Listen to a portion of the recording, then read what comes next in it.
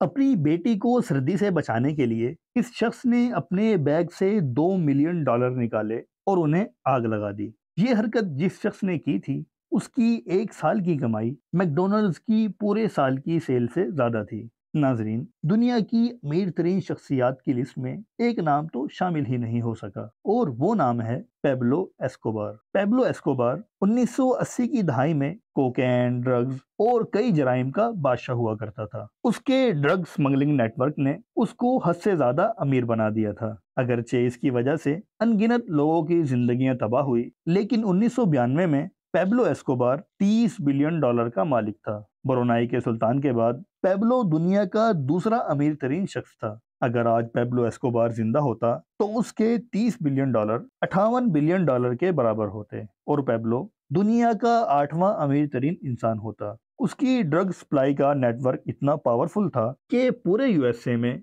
नब्बे फ़ीसद कोकेन सिर्फ़ एस्कोबार का नेटवर्क ही सप्लाई करता था। और पूरी दुनिया में 80 फ़ीसद ड्रग सप्लाई एस्कोबार के ज़रिए होती थी। इस खतरनाक सप्लाई नेटवर्क को पाहमस के एक जजीरे से चलाया जाता था और यही जजीरा पेब्लो एस्कोबार का हेडक्वार्टर था। इस जजीरे पर पूरा एक एयरपोर्ट बना था, जहाँ पर कोकेन से भरे जहाज़ रिफ्यूलिंग के बहाने लैंड करते और इसी दौरान उनमें से कोकेन निकालकर छोटे हेलीकॉप्टर्स के ज़रिए अमेरिका रवाना कर दी जाती। और ये लैंडिंग महीने या हफ़्ते में एक बार नहीं होती थी, बल्कि ये रोज़ाना पाँच से छह बार होता था। अमेरिका में रोज़ाना पंद्रह हज़ार किलोग्राम कोकेन भेजा जाता था, जो पूरे साल का पाँच लाख चालीस हज़ार किलोग्राम कोकेन बनता है। और उस वक्त अमेरिका में सिर्फ़ एक किलोग्राम कोकेन की कीमत सत्तर हज़ार डॉलर होती थी, जिसका मतलब ये है कि पूरे साल में पेब्लो एस्कोबार 378 बिलियन डॉलर की कोकेन सिर्फ़ अमेरिका में बेचता था और ये सिलसिला पूरे 16 साल तक चलता रहा।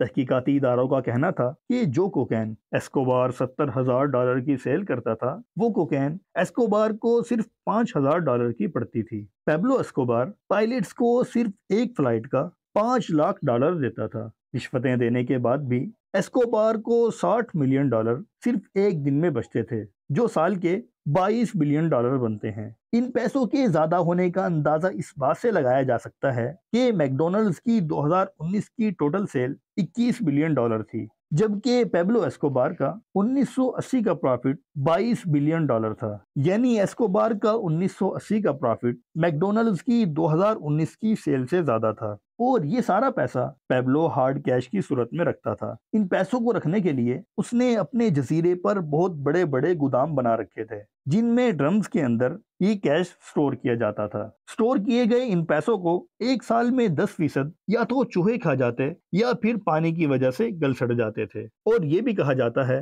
कि पेब्लो इतने सारे कैश को गिन तो नहीं सकता था तो इसलिए पैसों का वज़न करके पैसे गिने जाते थे और उनकी गड्डियाँ बनाई जाती थी। एक दफ़ा पेब्लो एस्कोबार ने पुलिस से बचने के लिए मेडलिन के पहाड़ों में अपने बच्चों समेत पनाह ले रखी थी। उस वक्त उसकी बेटी को सर्दी लग गई। एस्कोबार के पास उस वक्त हरारत पैदा करने के लिए और कोई चीज़ नहीं थी तो उसने अपने बैग से दो मिलियन डॉलर कैश निकालकर उसको आग लगा दी। ये बात पेब्लो एस्कोबार के मरने के बाद उसके बेटे ने एक टीवी इंटरव्यू में बताई। और जैसा कि इस तरह की जिंदगियों का अंजाम भी खौफनाक होता है, उन्नीस सौ तिरानवे में पेब्लो एक पुलिस मुकाबले में मारा गया। पेब्लो के किस्से आज तक पूरी दुनिया में एक मिसाल बन के रह गए और ये बात भी साबित हो गई कि बुरे काम का अंजाम भी बुरा होता है। नाजरीन, आपको हमारी ये वीडियो कैसी लगी? हमें कमेंट्स में ज़रूर बताएँ। और अगर आपको हमारी ये वीडियो पसंद आई है तो वीडियो को लाइक कर दें और साथ में हमारे चैनल को सब्सक्राइब भी कर दें ताकि हमारे आने वाली मजीद वीडियोस भी आपको मिलती रहें।